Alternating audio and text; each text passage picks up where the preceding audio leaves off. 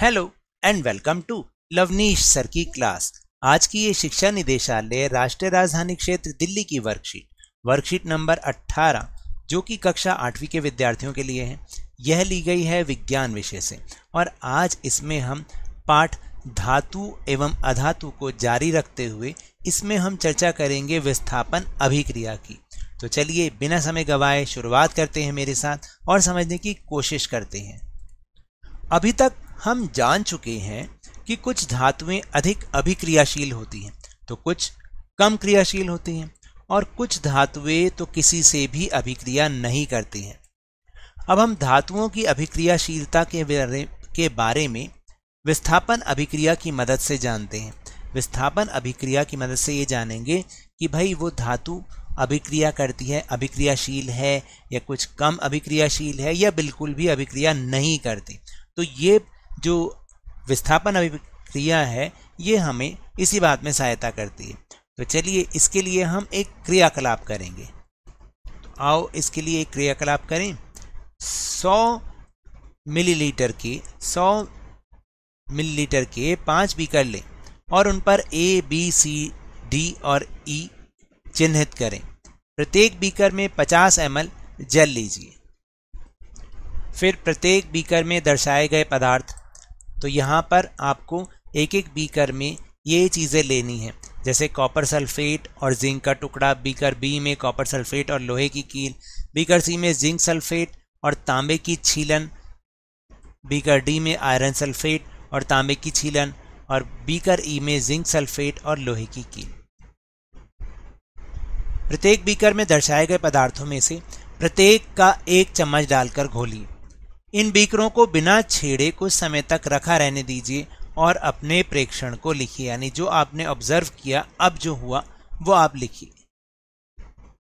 तो देखिए, पहले जब हमने दो चीज़ों को मिलाया कॉपर सल्फेट और जिंक या लोहे की कील अलग अलग बीकरों में डाली तो पहले इस तरीके से था। जब हम बाद में देखते हैं तो ए और बी का देखिए, इन्होंने अभिक्रिया करी। सी डी और ई e में कोई चेंज नहीं आया। अगर आप देखें, यहाँ पर भी ऐसा है तो यहाँ पर भी ऐसा है। प्रेक्षण। प्रेक्षण क्या लिखेंगे? बीकर ए में जिंक कॉपर सल्फेट के विलियम में से कॉपर को विस्थापित कर देता है। जो जिंक है, वो कॉपर को हटा देता है, विस्थापित कर देता है। जिसकी वजह से कॉपर सल्फेट का रंग नीला, अदृश्य हो जाता है और बीकर के पेंदे पर कॉपर का भूरा पाउडर जमा हो गया। तो बीकर ए में देखो क्या हुआ कॉपर सल्फेट प्लस जिंक अब बन क्या गया? जिंक सल्फेट प्लस कॉपर यानी कॉपर अलग हो गया। कॉपर सल्फेट प्लस जिंक में से क्या किया? जब उन दोनों को मिलाया तो कॉपर सल्फेट की जगह जिंक ने ले ली और उसमें से कॉपर अलग हो गया। बीकर बी में लोहे ने क्या किया? कॉपर सल्फेट के विलियम में से, विलियन में से कॉपर को विस्थापित कर दिया। तो देखा आपने कॉपर सल्फेट लिया था हमने और लोहा मिलाया था। बीकर बी में हमने ये किया था ना कॉपर सल्फेट और लोहा। लेकिन जब उसका रिएक्शन हुआ तो वो आयरन सल्फेट बन गया और कॉपर को उसने अलग कर दिया। हमने ये देखा कि बीकर सी डी और ई में कोई अभिक्रिया नहीं हुई, जिसकी वजह से उनमें कोई परिवर्तन नहीं हुआ। यहाँ नियम यह है कि केवल अधिक अभिक्रियाशील धातु, कम अभिक्रियाशील धातु को उसके जलीय विलियन से विस्थापित कर देती है। लेकिन जो कम अभिक्रियाशील धातु होती है, वो अधिक अभिक्रियाशील धातु को विस्थापित नहीं कर सकती है। तो आप देख रहे हैं सबसे पहले मतलब तो इसमें जो ज़्यादा अभिक्रिया वाली हो गई वो कौन होगी? जिंक, फिर उसके बाद आयरन और उसके बाद कॉपर। इस तरीके से इनका क्रम भी बनता चला गया। हमें पता चल गया, जिंक सबसे ज़्यादा अभिक्रियाशील है, फिर उससे कम लोहा है और उससे कम जो है वो कॉपर है। अब चलते हैं अपने प्रश्नोत्तर की ओर। तो स्वयं को जांचने के लिए कुछ प्रश्न हैं। प्रश्न नंबर एक, कॉपर विलियन और कॉपर का रंग कैसा या क्या होता है? देखिए, कॉपर विलियन का रंग नीला तथा कॉपर लाल द्रव्यमान के रूप में लाल रंग का होता है। फिर दूसरा प्रश्न है कि कॉपर जिंक के विलियन में से जिंक को विस्थापित क्यों नहीं कर पाता? जब कॉपर जिंक का विलियन मिला तो उसमें वो जिंक को विस्थापित क्यों नहीं कर पाता है? देखिए कॉपर जिंक के जिंक के विलयन में से जिंक को विस्थापित नहीं कर पाता, क्योंकि कॉपर जिंक की तुलना में कम अभिक्रियाशील होता है, इसलिए वो जिंक को नहीं हटा पाया। फिर इसके बाद है जिंक आयरन कॉपर को अभिक्रियाशीलता के घटते क्रम में व्यवस्थित कीजिए, यानी सबसे पहले ज़्यादा अभिक्रियाशील, फिर उससे कम, फिर सबसे कम।